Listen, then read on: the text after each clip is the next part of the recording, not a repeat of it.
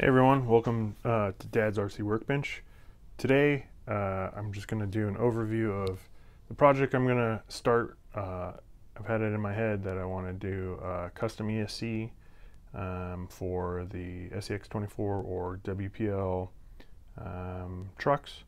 Um, so I got a, uh, it's a 30 amp uh, 2 to 4 S LiPo, it's a BLHeli S uh, ESC. I don't know if you can see that, but it's really no bigger than my thumb. So I was thinking um, it could fit really good in these small crawlers.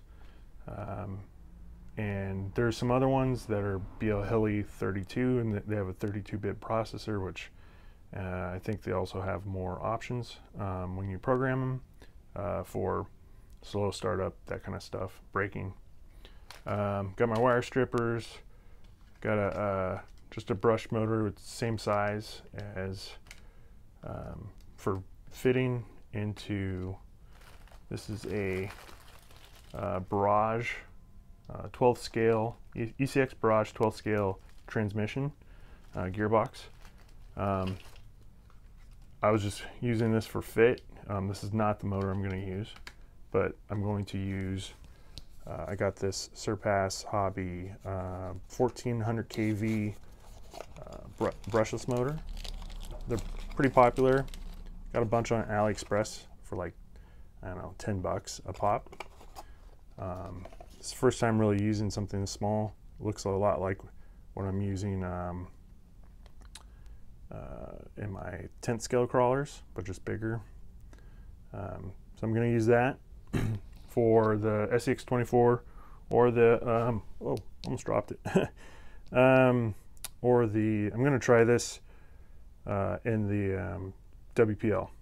So, um, also got a B, BEC, so I can power the receiver um, from the ESC, so I got to solder all that together. Um, got this little USB uh, programmer to plug the ESC into my computer and program all the settings.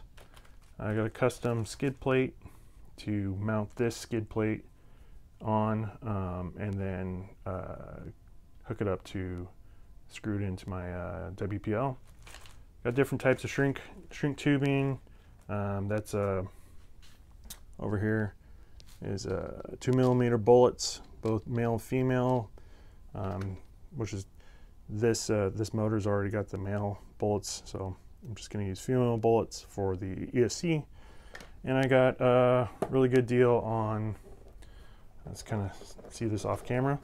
It's a helping hands. It's a weighted helping hands with a fan on it. Um, help me solder.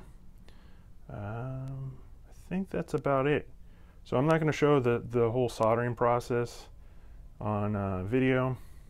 I'll show you after I'm done and then uh, probably another video after it's installed. So um, yeah, thanks for watching. Like and subscribe. Thanks for everybody that's subscribed to the channel so far. Um, getting an increase in viewers. And uh, so thank you for everybody that's commented, liked, subscribed.